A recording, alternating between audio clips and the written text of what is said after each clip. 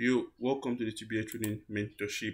And in today's video, although I promised that I was going to jump into trends in this video, but that's going to be in the next video. So this video is just going to be all about um revision on what we've done or what we've learned so far. So don't worry, by next week we're going to be looking at we're going to be looking at um structures in full like, like structures, what structures are, how to identify um, uptrend, downtrend, and the likes and the likes. Yeah, I also found out. I actually just noticed this recently that this cursor is black throughout. I'm very very sorry about that. It's actually not black now. I don't know. I think it is the recorder that is making it black. So I'm just going to maybe probably before the next video. Um, by then we're going to be using trading view throughout. So I'll most likely change my trading view from dark mode to light mode to make it easier for you guys to see. So in today's video, I'm just going to look at a revision from the very beginning, what is Forex, then down to what is trend. Um, so just going to be like a very short revision. So what is Forex again? Forex is um, um, it's an acronym for foreign exchange, and it's just about the exchange of one one currency to the other. She gets. Then um, we have stuffs like this called um, USD, which are called actually not. I think I'll be expecting us to see that at the same time currency pairs. And what are currency pairs this is the pairing of two different currencies together. And one currency is the base currency another one is the quote currency. These are the names for most of um you know i think it's very nice for you guys to learn this stuff. Personally i like calling my own pairs aud usd gbp jpy calling the symbols. But some people like calling the currencies for instance. Some people like saying aussie dollar or australian dollars. That's the currency Australian dollars, while some people like using the nickname Aussie dollars. Um, especially for yeah, if they don't usually use it for most of them. For you see, um, Japanese yen or sorry, um, um USD card. Nah, nah, nah, nah. Um, I think the cable GBP USD cable the record the a lot of people call GBP USD the cable, um, Swiss dollar, um, Aussie dollars, um, yen pounds, or pound yen. Yeah, thank you. Some stuff like that, stuff like that. So it depends on the kind of forex trader that you meet. So different people like using different ways to call whatever whatever suits them. I'm very very sure all of you like watching this video are not gonna call um this currency pairs the same way I call it. So it's whatever works. So you just have to learn it so that if someone tells you your Aussie dollar, you're not gonna be confused. She gets and it's kind of make it look more professional. You understand? So next thing we look at what types of traders and types of traders we talked about the day traders and type of um, traders classified by time frame which is the scalpers day traders swing trader position traders aka investors. We also talk about um, classification of analysis type.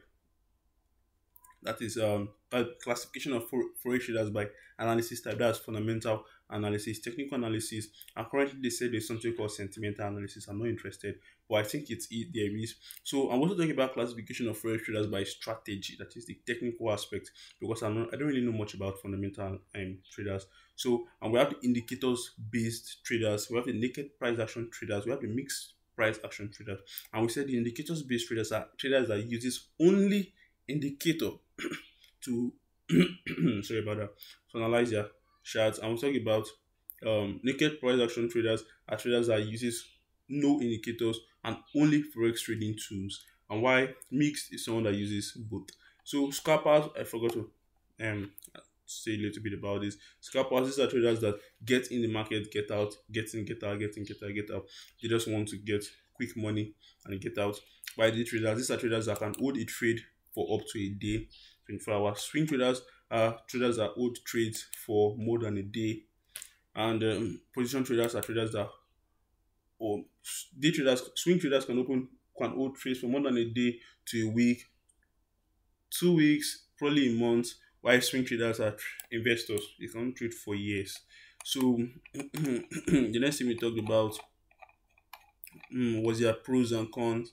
Yeah, you can check out the first video to check that one out. So we talked about what's the next chapter?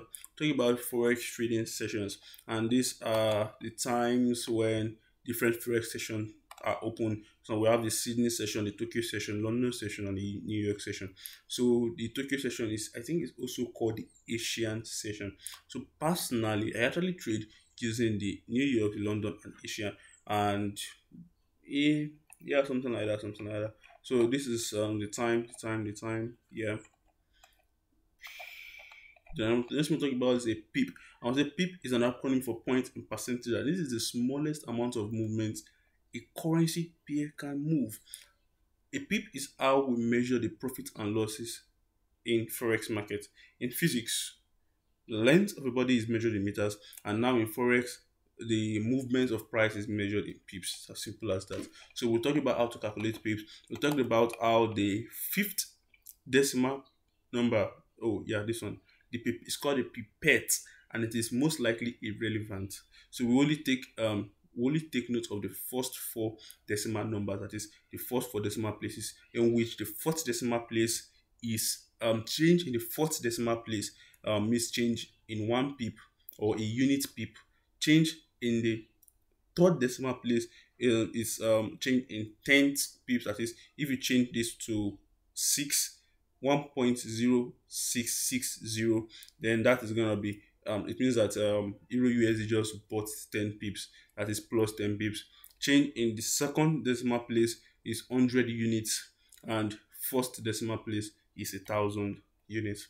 So we'll talk we'll also talk about um, how to calculate we'll also talk about the aberrations which comes in JPYPS and um the third um the most JPYPS have three decimal places and we said the third decimal place is the pipette which is irrelevant and we start counting our pips from the second decimal place just like we did for Euro USD. We also talked about how to calculate lot size. We talked about the different types of lot size, the standard lot size, mini lot size, micro lot size, and nano lot size. So we talked about the three major lot type, which is the standard, mini, and micro. And we said we can use this to calculate your profit and your loss using this formula: the value per pip, the number of pip moved, and the lot size. All this is going to will help you to calculate the number, um, your profit and your loss.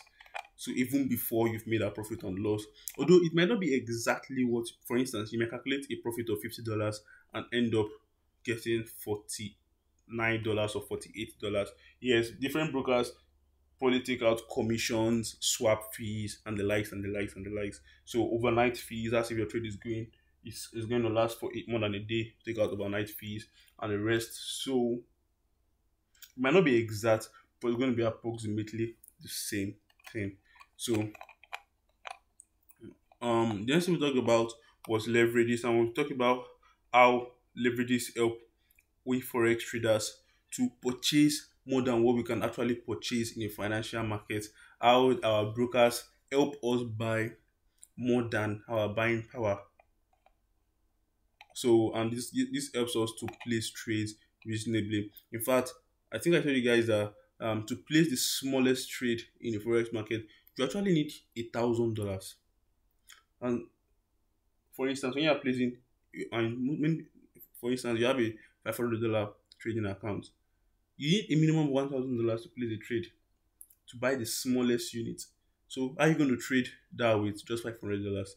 So that's where brokers come in, and that's where leverage comes in, and helps you guys to buy more than you can actually buy in the forex market.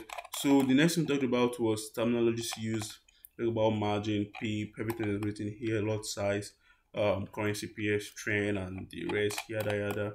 So next thing we talked about was um, MT4 and then sorry trading view breakdown. We didn't do anything about the MT4 breakdown. If you if you if you guys really want the MT4 breakdown or the trading view mobile version breakdown, just let me know in the comment section below and you're gonna see it. So next thing we talk about and or you can just check out these links right here.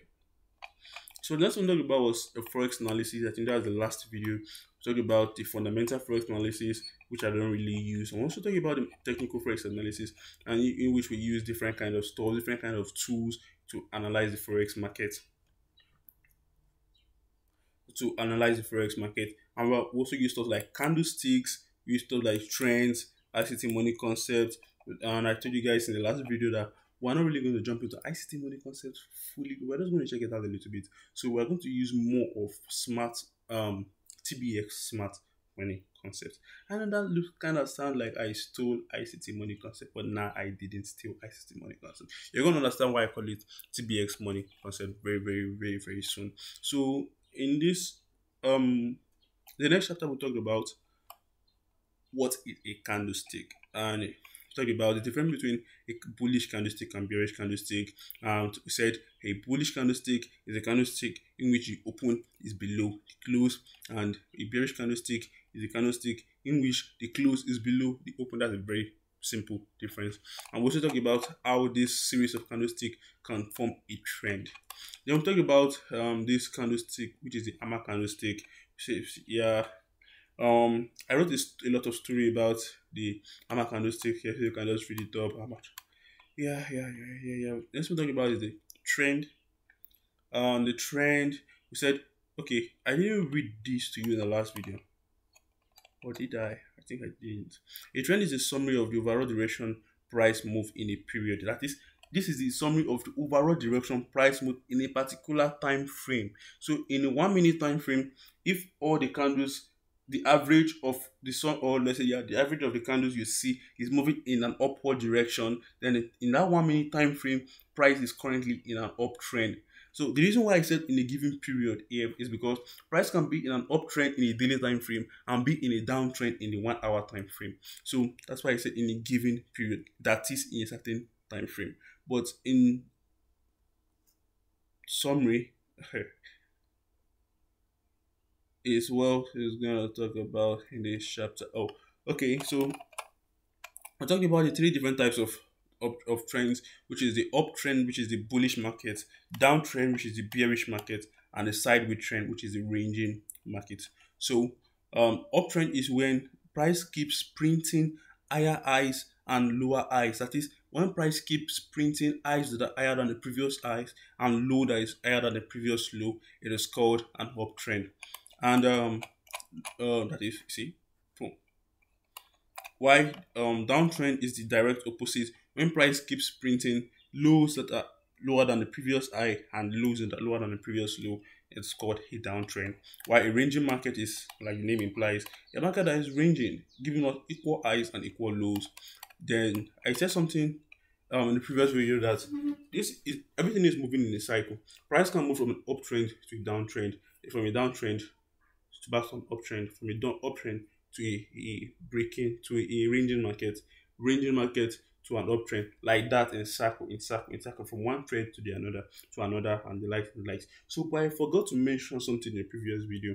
When price changes trend, that is when price moves from an uptrend to a downtrend, it is called a break of structure. It is called a break of structure or a change of character or a break in market structure. Don't worry, we're going to talk about this in the very next video, I promise. So that's all about this um, week. Um, that's all about this book.